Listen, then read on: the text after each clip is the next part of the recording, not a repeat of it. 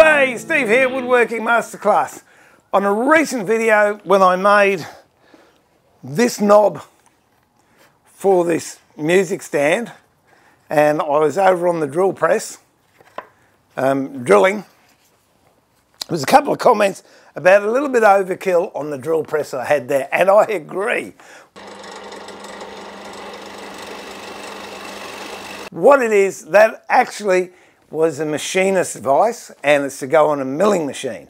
Now I ordered my milling machine, but it took um, six weeks or something rather to arrive. And in the meantime, I bought all the gear that I need so when the machine arrived, I could get straight into it.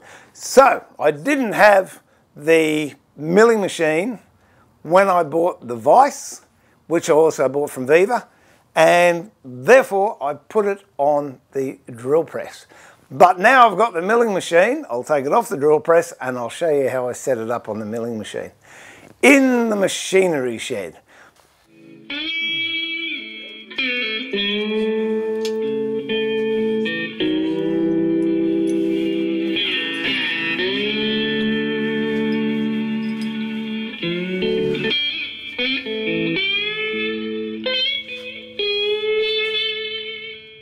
I've got to tell you, this Oh, it's heavy.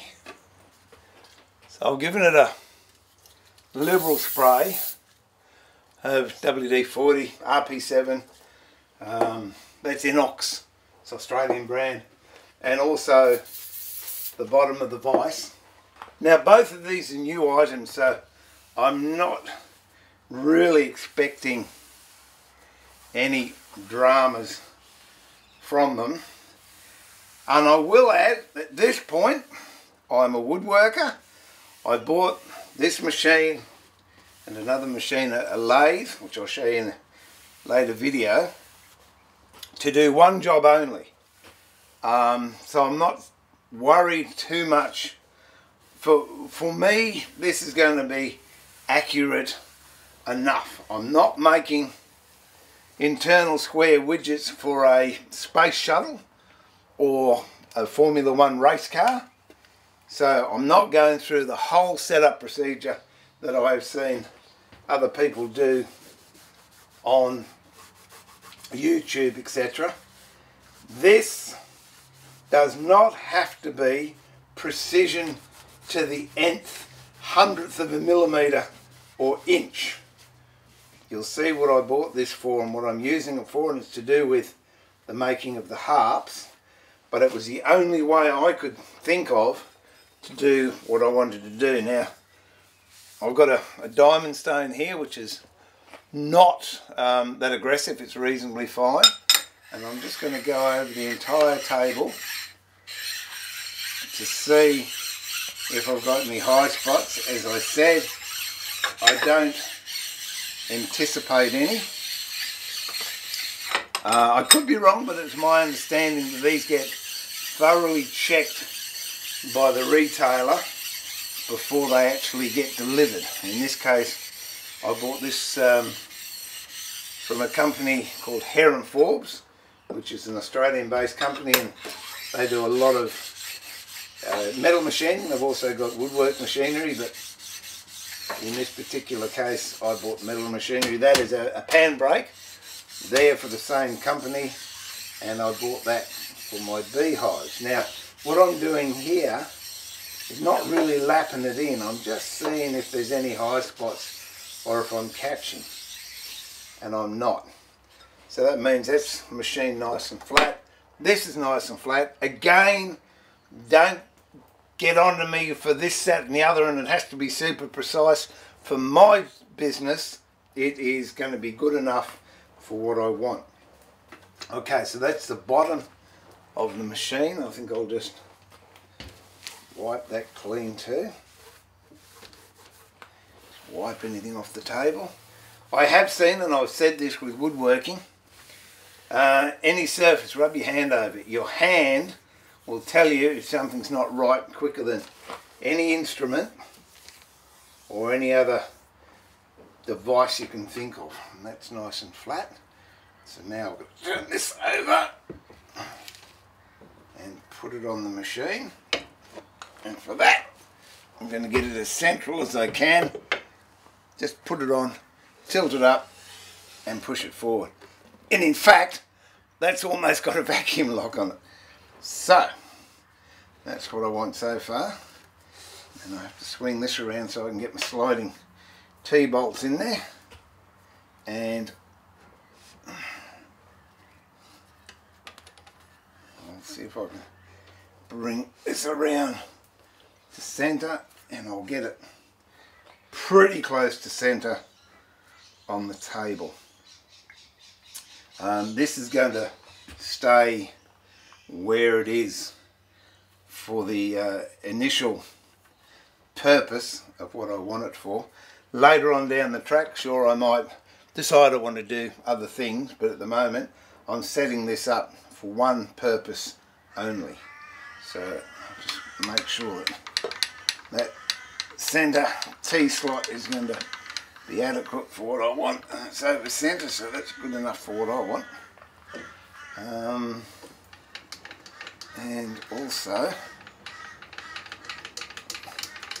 move the x-axis to see how I'm looking. There. The majority of um, work I'm going to be doing is just, well, I don't know what it's called, but I'd call it end milling on this part of the vise and some drilling on this part of the vise. So that's why I'm just making sure this all gets set up. And I'll be using ER32 collets. Alright. Now the T-bolts uh, that came with this machine are just a little bit oversized for the T-slots I've got here. With this machine, which is a, an Optimum uh, BF20L, I've got 10 mil T-bolts, which fit in there quite nicely. These are 12 mil T-bolts and I'm going to keep them and use them because the surface area here is recessed for a 12 mil so I want to get that coverage. I have seen people make uh, flat washers or used machining clamps to go over there to give them more of a sturdy anchoring point to the table but again for the job I have this for I might do it later on but I think it's going to be a bit of overkill so I'm just going to put one in there. I'll put the other side in shortly. And then I've just got to true up this face to the vise and what I'll do that for that is um, I think it's called a DTI which is a dial test indicator. And I'll set that up and I'll just make sure this is square to that. And then I can tighten the bolt on the other side. This is a dial test indicator and every um, notch there is one hundredth of a millimeter. So as you can tell very very sensitive. To get this vise I want this to be accurate at the back. I've put the two bolts into the T-slots and tighten those up. But seeing this has got a swivel table on it I'm just nipping both of these up to hold the swivel. And then what I can do is I'll measure it and decide what is parallel along there according to the gauge. And one thing I noticed earlier on is and I don't know if it's a design fault or it's actually intentional here where you normally have a mark to line up with your degrees I don't know if this one just didn't have one but it's blank. It's been machined off, but it's blank. So what I'm going to do is get this part of the vise accurate and then where my 90 degree mark is, I'm going to get a cold chisel and just put an indent there. I'm winding it back to this corner and then I'm winding this out just so I can preload that instrument a little bit, bring it in a little bit more so I know I've got a bit of play. Zero it. Now I'm going to move the table along that way and if I'm out it should show us, okay, there. On 500th or a hundredth of a mil. So it is a fair bit out as far as machinists go, but as far as I'm going, it's going to be okay, I think. I'm just going to have to nip it up just a little bit.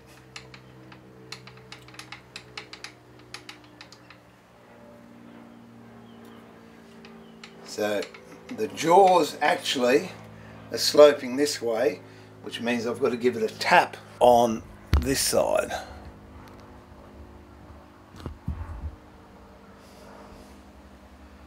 So I can bring this corner out. A rubber mallet, just give it a little, couple little taps. I've halved that error, or close enough. So we'll tighten these back up. Just give them a nip. Go back over here. And as you can see, that's really not out compared to what it was.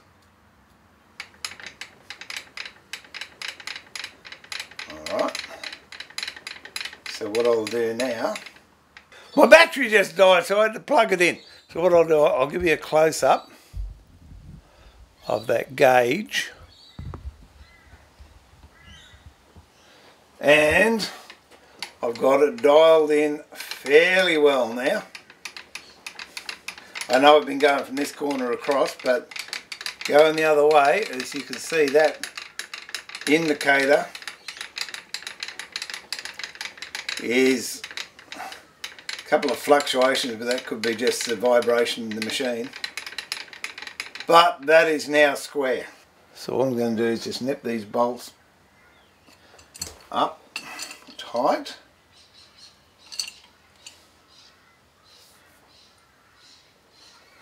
And there we have it.